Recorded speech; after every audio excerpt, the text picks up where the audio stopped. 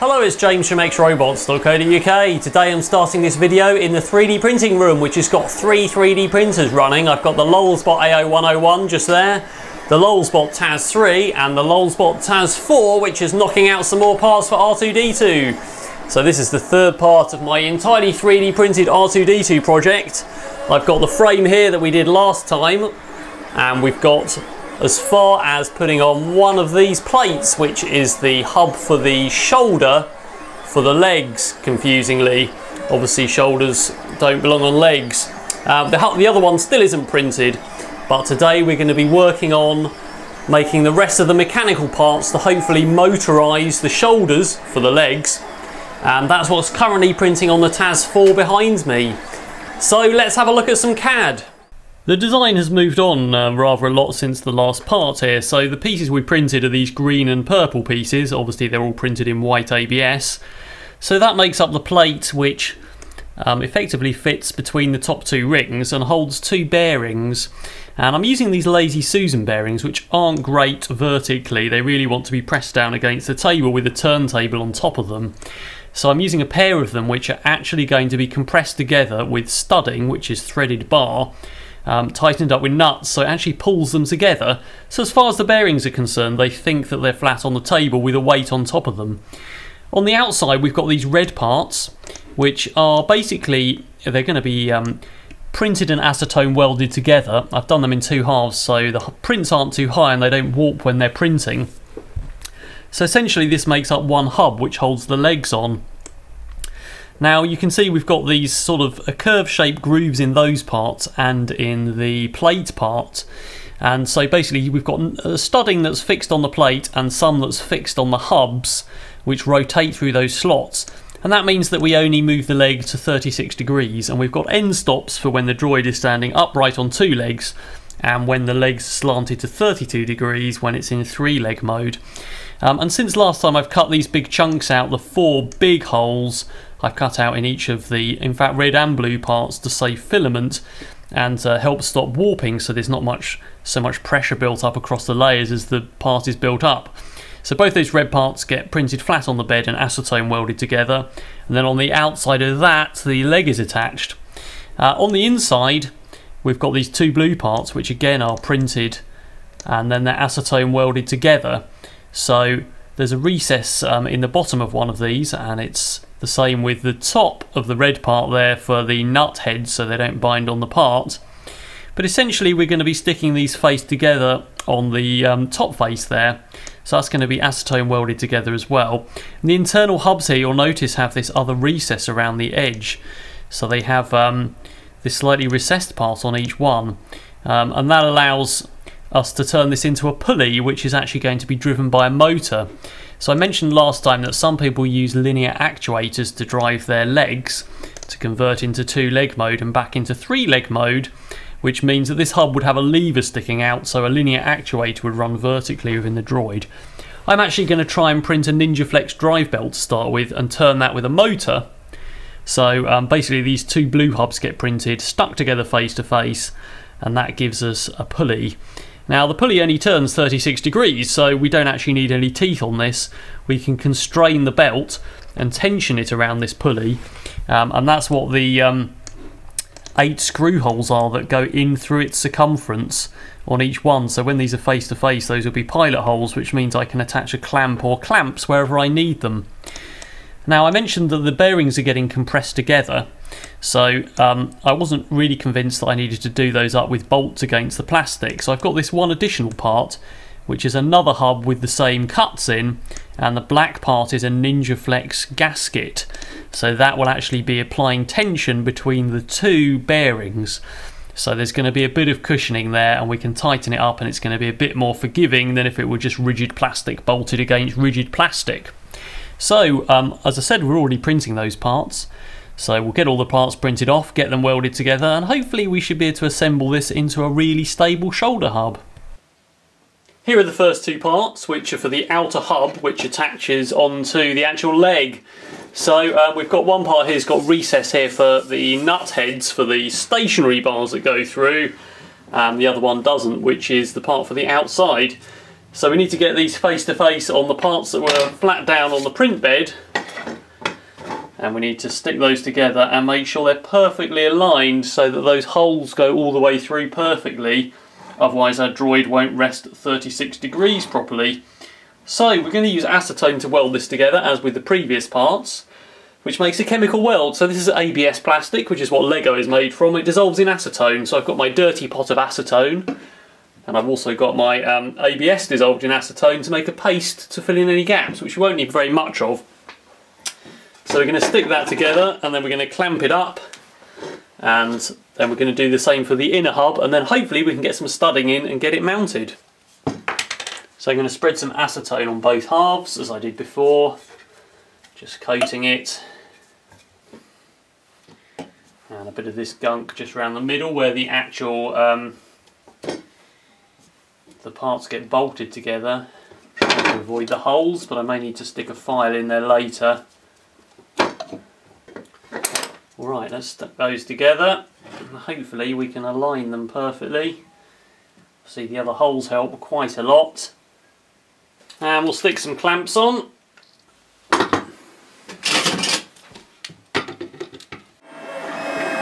I've done my 5mm absolutely solid infill ABS gasket plate and I'm doing the Ninja Flex part that sits behind it so we should have all the parts together then and we can bolt it all together.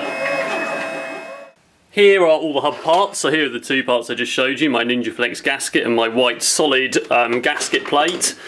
Um, and now I've got the um, hubs here sorted out with the bearings on, so this is the inside hub, that's the pulley, and that's got its bearing fixed on the inside.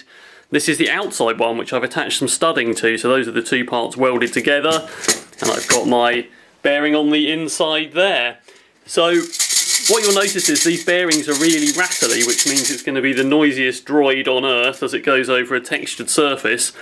Um, but I've mentioned I'm going to clamp these together, of course, using these bits of studding, so if we actually compress the bearings, it's quite a lot better. So that's how we're going to get rid of the noise, hopefully. So let's see where that fits. So on my droid itself, on this plate, I've put these two fixed bits of studding, and these are the pieces that will eventually make the parallelogram for the leg, so they'll have runners that go all the way down with bearings fixed on these. So this piece here now, with its um, three bits of studding, fits quite neatly into these holes. So this goes like so. Let's just align that, and we need to make sure that that Lazy Susan bearing goes into the recess. But we can screw that in the corners by turning this. Um, and obviously what we can see is now that this um, this leg will only turn to 36 degrees. And if we have a look on the inside, we can hopefully see, let's just take this top ring off, that might make it a bit easier, we've got similar cutouts for these turning bits of studding to do the same thing. So uh, the next piece that goes on is the internal bearing, which again has the same holes in it, so that will fit on and that aligned. And again, that uh, bearing, I can turn these to get to the screw holes to screw this onto the plate there. Um, and then that is followed by the Ninja Flex piece, which goes one way around or the other, doesn't actually matter. And that's followed by the 3D printed plate.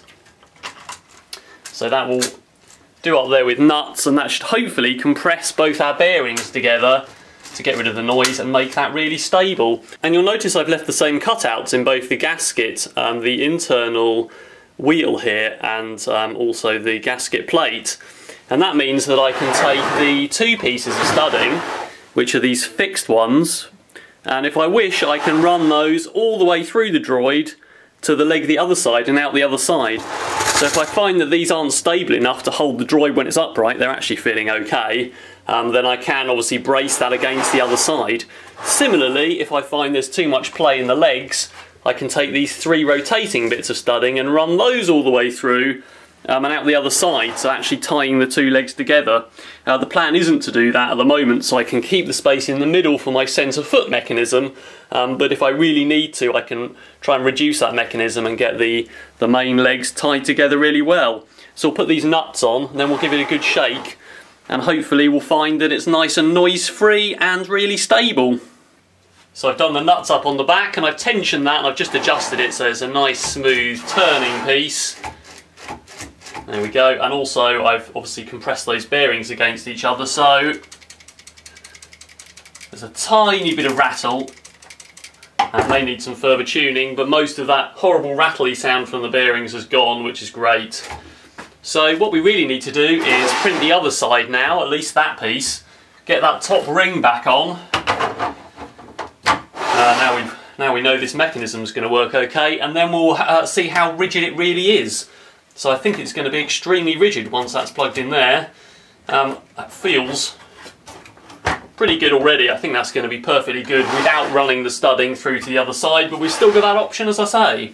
So all of the frame is welded together. It's actually incredibly rigid. I've got the other side on there, so I've now attached my top ring. That's much, much more rigid than I thought it would be. It's extremely substantial, so it's going to be absolutely fine to drive around and convert into two leg mode and back to three leg mode again. So I've got one shoulder hub fitted so far. I haven't put the parts on for the other one, which are currently printing. Um, but before I fit the motor to motorise that, which is going to go somewhere at the back here, obviously we need a pair of them, I'm quite cautious that we need to preserve the space for the centre foot retracting mechanism. So obviously on this droid the centre foot is fixed.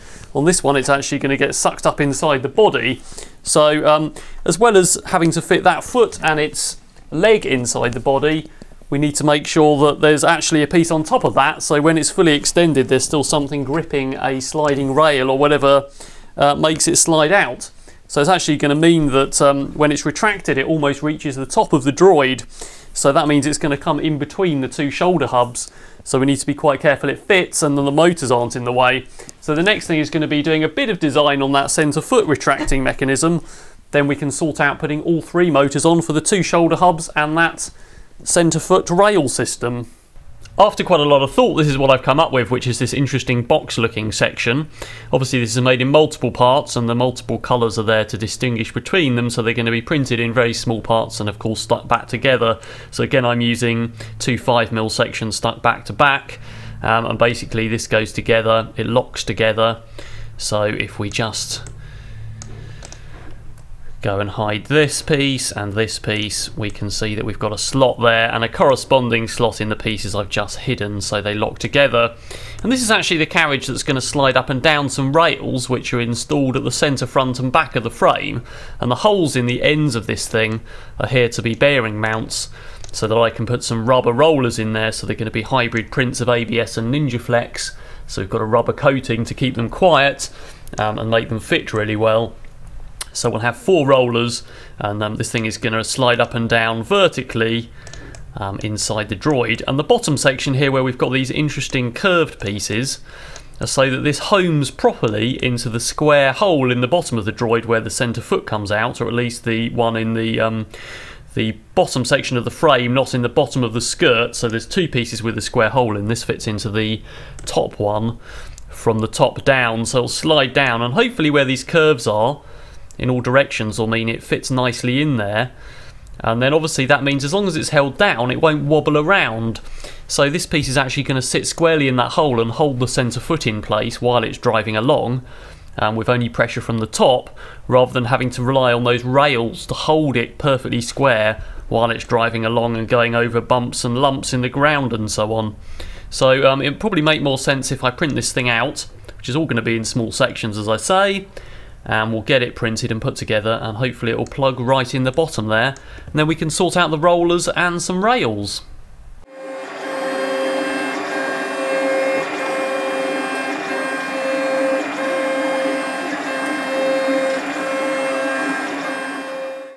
So the first one is printed. I stuck the two 5mm sections back to back to make one of the ends. Obviously those slots are for the longer pieces to go in.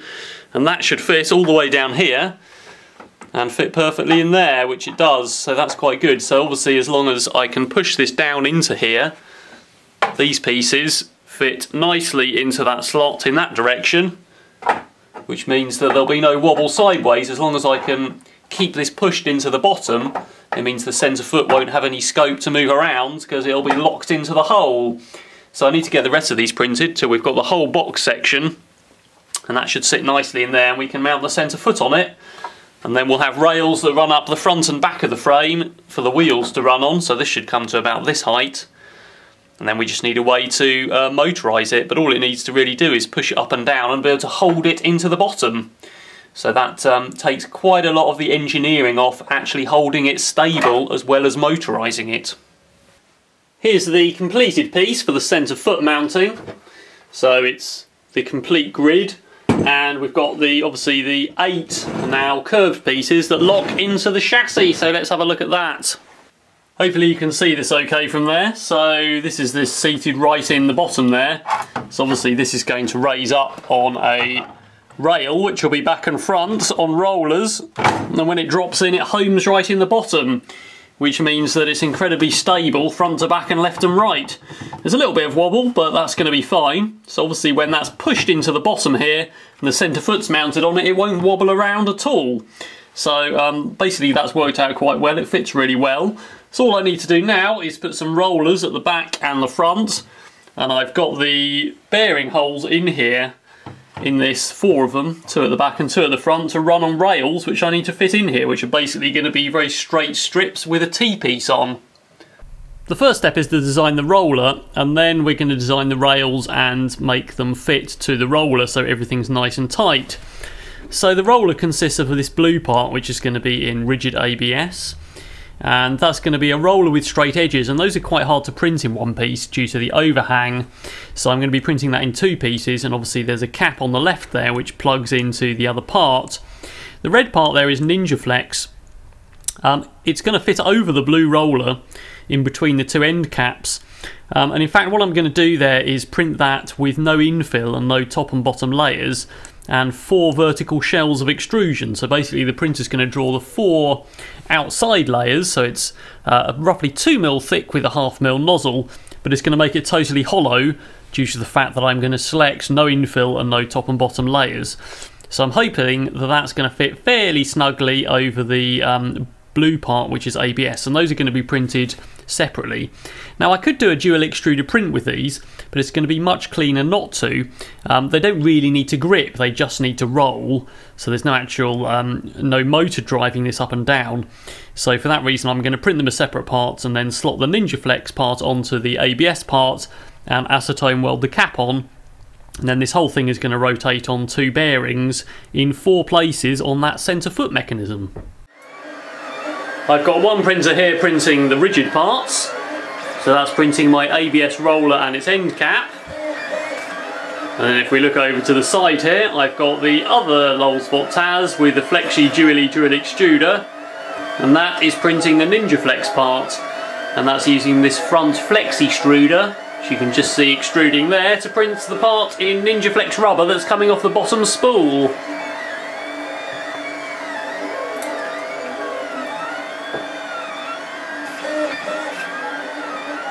My rollers are installed on the carriage here, so I've got two at each end, and those are mounted on 6mm bearings with a bit of studding. So this is fairly light because it's only 30% infill, but it's got some uh, rigidity and it feels fairly robust. So these spin quite freely. And this is going to run up and down on rails, so I've printed this part, which is two pieces um, acetone welded together there, so they're just butted up end to end. And that's going to run on the rails, or rather the uh, the carriage is going to run up and down on these, one at each end. And this is going to be held straight and attached to the frame with this piece, which is again two 5mm pieces back to back. And that's going to plug in like so, all the way down and be acetone welded in. And then the pair of those with these notches fit into the frame. So we've got the rails installed back and front here and our carriage runs up and down quite nicely. So it rolls all the way down and fits squarely into that hole where it's really stable. So you can see there's some play in the rails um, on the way up and down. I could have made that slightly tighter, but when it's plugged into the centre, centre hole there, then that's really stable. So that's going to work really well to make it stable for driving around on. So where we've got that centre rail that's now cutting through the middle of the frame there, that's going to be covered with the vents. So we've got the two front vents, the power coupler, and of course the utility arms and the large data slot, which are basically going to cover that, um, and obviously the other features in the frame. So even though you're going to be able to see this mechanism moving up and down inside, um, it's not going to look too unsightly and it's going to look quite interesting to look at. So that's actually all I'm going to do for this episode.